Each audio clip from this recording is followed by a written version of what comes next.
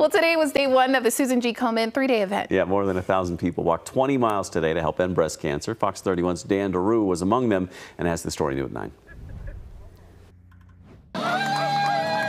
It was just about a perfect day to stamp out breast cancer by stomping on a 20-mile walk.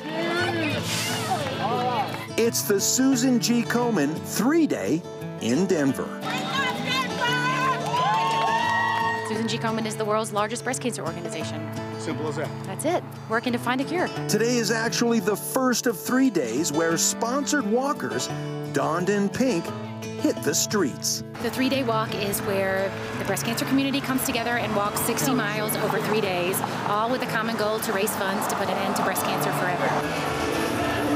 This morning, folks gathered at the Hyatt Regency Ballroom for a little stretching, listened to speakers, got motivated. United in spirit. Nobody motivated the crowd more than Katie Stone, who is the Vice President of Community Health for the Susan G. Komen 3 Day. And she's also a breast cancer survivor herself. Uh, I mean, breast cancer changed my life in so many ways, but there's so much joy on the other side when you're pitching in to help other people. Stone was a trial attorney when she was diagnosed with stage 3 breast cancer.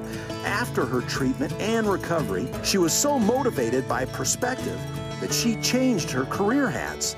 The one she wears now is pink. I changed jobs because I wanted to come work at Susan G. Komen and I wanted to make sure that everyone had access to the resources I had to detect and survive breast cancer. It was indeed a good day to stomp out breast cancer. Dan Daru, Fox 31.